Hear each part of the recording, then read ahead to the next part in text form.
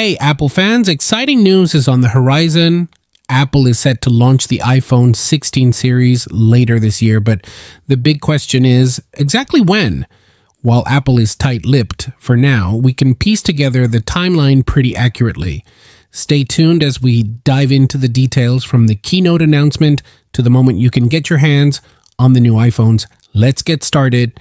So let's kick things off with the keynote. This event will showcase the iPhone 16, iPhone 16 Plus, iPhone 16 Pro, and iPhone 16 Pro Max, along with other exciting products like the redesigned Apple Watch Series 10 and the third iteration of the Apple Watch Ultra. When will the keynote be?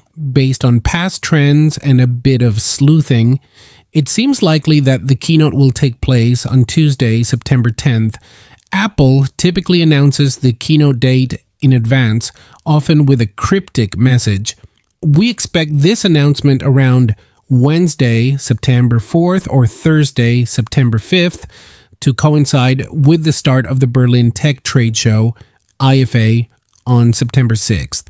Now that we have an idea about the keynote, let's talk about what happens next. According to Tech Radar, production of the new iPhones is right on schedule this year. This smooth production process is a good indicator that Apple will stick to its usual timeline.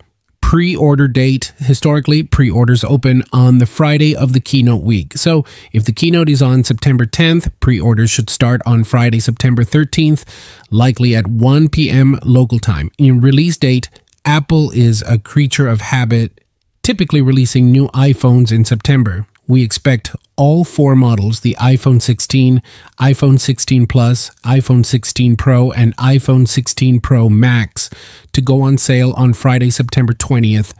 With these dates in mind, let's zoom out and look at the broader context. Why September 10th?